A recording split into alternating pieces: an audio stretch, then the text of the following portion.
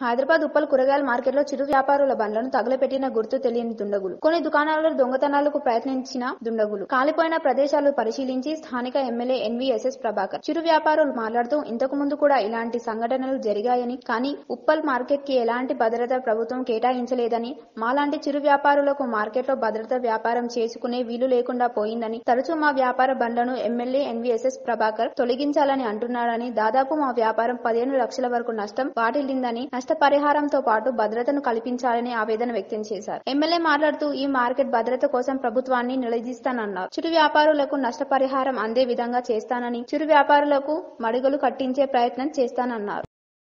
తెల్లారి జాములో మన దుర్ఘటన జరిగింది. కొన్ని పేదవాళ్ళ లెక్క దుకాన్లు మరి కాలిపోవటం జరిగింది. పూర్తిగా కూడా అనేక అనుమానాలు కలిగిస్తూ ఉంది. మరి వీళ్ళందరూ కూడా పుట్టకూట చేత పట్టుకొని మరి మిత్తిలికి తెచ్చుకొని ఉల్లిపాయలు ఎల్లిగడ్డలు ఆలుగడ్డలు మరి పూలు పండ్లు గుమ్మడికాయలు బూడిద గుమ్మడికాయలు ఇవన్నీ కూడా అమ్ముతా ఉన్నారు. మరి పండుగలు వస్తున్నాయని కార్తీక మాసం స్వాముల పూజలు ఉంటాయని సంక్రాంతి పూజలు ఉంటాయని మరి మాల్ కూడా పెద్ద ఎత్తున తెచ్చుకుని పెట్టుకున్నారు. మరి ఈ రకమైనటువంటి సంఘటన వాళ్ళ యొక్క జీవితాల్లోనే మరి మంటలు పెట్టినట్టయింది. మరి దీన్ని ప్రభుత్వం కలెక్టర్ గారికి మరి మాట్లాడి నష్టపరిహారం ఇచ్చే విధంగా ప్రయత్నం చేస్తామని చెప్పని తెలియజేసుకుంటూ ఈ యొక్క మార్కెట్ అంతా కూడా సెక్యూరిటీని పెంచుతాం మరి లైట్లు ఏర్పాటు చేస్తాం.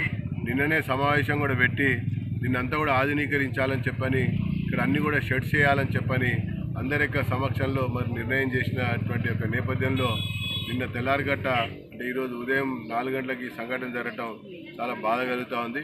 ఒక పైస సంపాదించాలంటే ఎంత కష్టమో ఈరోజు వాళ్ళ కళ్ళెదుటనే అవన్నీ కూడా మరి మంటల్లో కాలిపోవడం అనేది చాలా బాధాకరమైనటువంటి విషయం అని ఇలాగ నష్టపరిహారం ఇప్పించే విధంగా ప్రభుత్వం పైన ఒత్తిడి చేస్తానని చెప్పని తెలియజేసుకుంటున్నాను.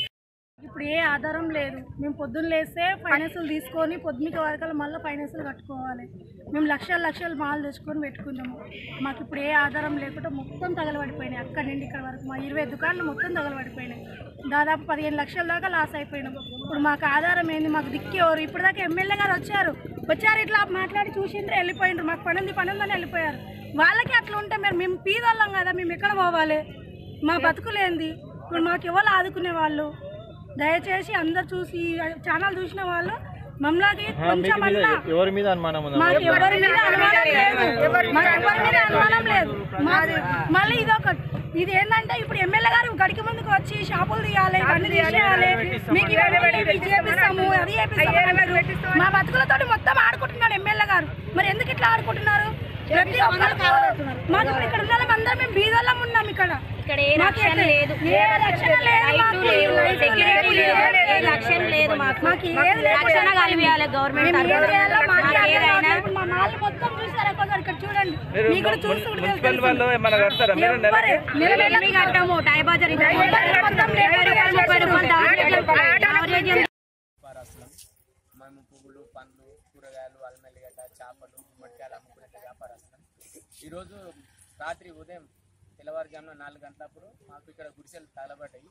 మేము వచ్చి చూసేవరకల్లా మంటలు నేర్చుకున్నాయి ఇక్కడ కాంట వ్యాపారస్తులు ఒకరు ఉండి ఆ ఫైర్ ఇంజన్కి ఫోన్ చేశారు. ఫోన్ చేస్తే వాళ్ళు వచ్చే వరకల్లానే సగం దానం అయిపోయింది మొత్తం దగ్గర అభివృద్ధితో అంటున్నాయి అంతలోపు వాళ్ళు వచ్చి ఇక్కడ మామూలుగా ఒక రెండు మూడు లక్షల ఆస్తి నష్టం జరిగింది. మాకు ఎవరు వచ్చినా కానీ ఎవరు ఎమ్మెల్యే వస్తున్నారు పోతున్నారు కానీ మాకు ఎవరు ఏం సహకారం చేస్తలేరు. మాకు ఈ మార్కెట్ అనేది నాలుగు దారులు ఉన్నాయి. ఏ దారి ఉంటే దొంగలు వచ్చి ఎక్కడ తీసుకుపోయే తెలుస్తలేదు. ఇంతకు ముందు కూడా గతంలో ఎన్నో సార్లు ఇట్లా దొంగతనాలు జరిగినాయి కానీ మామూలుగా దొంగతనంగా తీసుకుపోతారు తింటే తిన్నారు అన్నట్లు మేము పట్టించుకోకుండా ఉన్నాము. ఇప్పుడేమో మామూలుగా గుడిసెలు తగలబడుతున్నాయి. మాకు ఇక్కడ రక్షణ అనేది లేదు. మాకు కనీసం ఇక్కడ సౌకర్యం అనేది లైట్ లైట్లు ఉండవు సరిగా సీసీ కెమెరాలు లేవు ఏం లేవు. ఒక వాచ్మెన్ అనేది లేదు.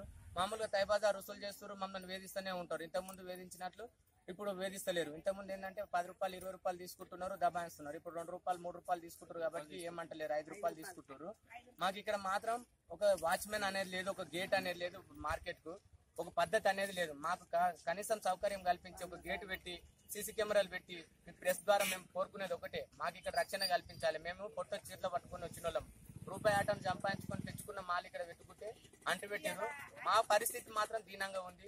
కొన్ని లక్షల మాలు ఇక్కడ మొత్తం ఉన్నది. నిన్న కాక మొన్ననే తెచ్చిన మాల్. మేము ఎండకు వానకను ఇక్కడ కూర్చొని అమ్ముకుంటుంటే కూడా మమ్మీని ఇంత కక్ష పట్టి సాధిస్తున్నారు మరి పార్టీ పరంగా చేస్తున్నారా? మాకు కావాల్సుకొని చేస్తున్నారా? మమ్మల్ని ఎవరైనా దొంగలు తీసుకుపోయి దొంగలు అంటూ పెడుతురా తెలుస్తలేదు. ఎవరు అంటూ పెట్టేది తెలుస్తలేదు. ప్రెస్ ద్వారా మేము కోరుకునేది ఒకటి గవర్నమెంట్ని. మాకు ఇక్కడ మంచిగా సెట్లు నిర్మించి మాకు ఒక రక్షణ కావాలి ఇక్కడ సీసీ కెమెరాలు ఏర్పాటు చేయాలని కోరుకుంటున్నాం.